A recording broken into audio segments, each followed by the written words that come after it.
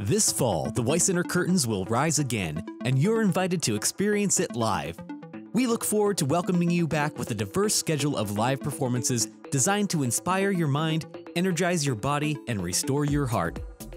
The 2021-22 season at the Weis Center includes 30 professional performances, including music from Bali, Venezuela, West Africa, Mexico, and Colombia, plus classical music, Americana and roots music, modern dance from three acclaimed companies, jazz, and family-friendly performances.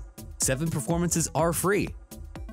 The season will kick off on Friday, August 27th at 6 p.m. with a free alternative rock and roots concert by Amythyst Kiah as she performs outside on the Weis Center Plaza. Her song, Black Myself, received a Grammy nomination for Best American Roots Song and won Song of the Year at the Folk Alliance International Awards. In mid September, we will welcome world music and dance from Bali with ensemble Sudamani. This 20 member ensemble weaves layers of intricate sound, including gongs, drums, voice, and flute. In late September, we'll welcome Red Sky Performance, a leading indigenous contemporary dance company from Canada, performing their work Trace, which is a dance work inspired by indigenous sky and star stories. On October 1st, the contemporary cirque duo Airplay returns to the Weis Center for a family friendly performance highlighting the amazing power of air. Flying umbrellas, larger than life balloons, giant kites floating over the audience, and a huge snow globe will make audience members gasp in wonder and laugh until it hurts. Then, the first of many engagements with the Jazz at Bucknell series begins with Jeremiah Abiah performing for free in the Weiss Center atrium on October 6th. Abiah is a renowned singer, songwriter, celebrity vocal coach, author, and producer.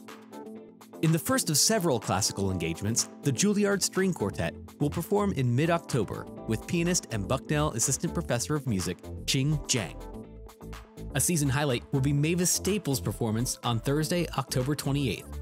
Hailed by NPR as one of America's defining voices of freedom and peace, Staples is a blues and a rock and roll Hall of Famer, a civil rights icon, a Grammy Award winner, a chart topping soul, gospel, rhythm and blues pioneer, and a Kennedy Center honoree. She's collaborated with everyone from Prince and Bob Dylan to Arcade Fire and Hozier. In the first of two performances held at the Campus Theater in downtown Lewisburg, we'll welcome Americana duo The Honey Dewdrops on November 3rd. Their harmony soaked songs, blended with the tones of guitar, banjo, and mandolin, are sure to inspire. Pianist Michelle Cann will perform in November with a program that includes Chopin, Florence Price, and Brahms. We'll end the fall season with a performance that includes three new works by Philadelphia's premier contemporary ballet company, BalletX, followed by a ruckus holiday performance by eight piece jazz band The Hot Sardines. The performance will feature timeless Christmas classics and original tunes.